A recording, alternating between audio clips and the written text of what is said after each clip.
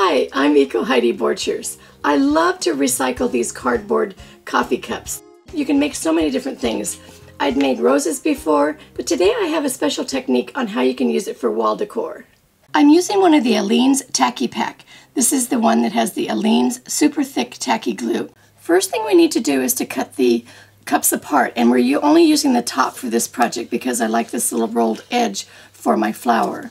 So you go down on the seam. The petals are going to be between an inch and three quarters and two inches. And then just cut all the way around. Don't throw this away. There are lots of things that you can make with it. Now you are going to need about probably four or five cups. The first one that I just cut will be perfect for the center of the flower. And what I did was I just kind of rounded the edge there and then just kind of roll it in your hands and that's going to be our bud.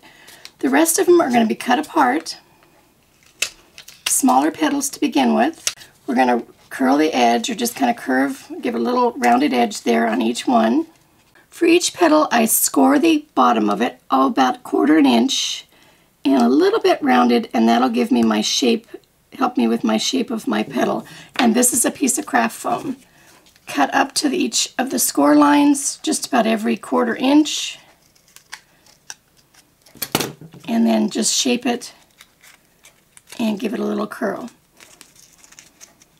You're going to do this with all the petals and you probably need oh about 15 or 20 assorted sizes of petals. For the base of your project you can use a stretched canvas or you can also go totally eco and use a cardboard box. Just kind of figure out where the center is, put a little mark, and that's where you're going to put start with the bud.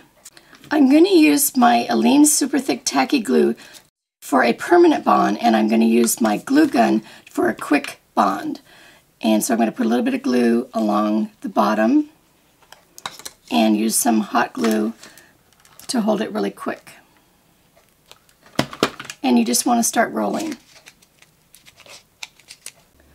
Put a little extra glue at the very end and just hold it until the hot glue cools. Again, as we put this together, we're going to use a little bit of the Aleene's Super Thick Tacky Glue and a little bit of the hot glue. That way we're assured that we're going to have a permanent bond and then the hot glue is going to hold it really quick. Now all those petals that we prepared, we're going to start to glue them on. A little bit of the super thick tacky glue and a little bit of the hot glue. And just keep adding all the petals until you have a full flower. For the leaves, just cut out a leaf shape. If you need help, just go out to the garden and get a leaf and just cut a shape out of the side of the cup. Use a pair of pinking shears on each side and do a double cut. So you're going to do once and then go over and go over again to get that little tiny, really neat edge. Do it on both sides. Take a stylus, go right up the middle for the vein and give it a shape. Put some glue on it and just put it in place. Now we're ready to paint the whole project. I'm using a flat black spray paint. Now remember you can just use an acrylic paint and you can brush it on, but I just really quickly am just using the spray paint and use it in a well ventilated area like outside. After the black paint dries, you're going to use some different color acrylic paints and just begin to brush them on. I like to start with a darker color first and then go to the lighter colors.